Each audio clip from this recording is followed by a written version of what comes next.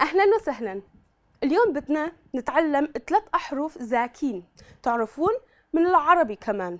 مثل حرف ب بالكلمة بوس وحرف الد مثل بالكلمة ضعيف وآخرا الج مثل بالكلمة جاتو. وهالكلمات التالية أمثال بالألماني. Bahn, Narbe, Dom, Adel,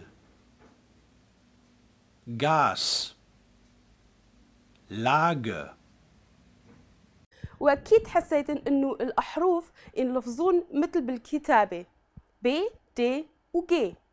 اللفظ هالأحرف لما يكون بالبداية أو بنص الكلمة شوي قوية بس لما هالأحرف أصلا بالنهاية بعدين اللفظ شوي رخيوة مثل الب بالكلمة كتاب. وشوفوا على هالأمثال بالألماني. Lieb, Lied, Lieg, يلا خلونا نتعلم مرة لخ.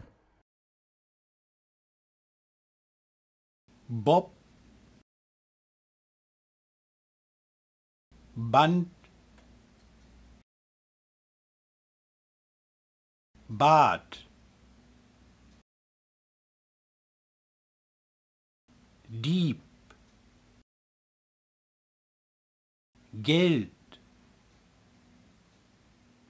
Weg. أنا أقول يكفي ولا؟ أوكي باي باي وإلى مرة الجاي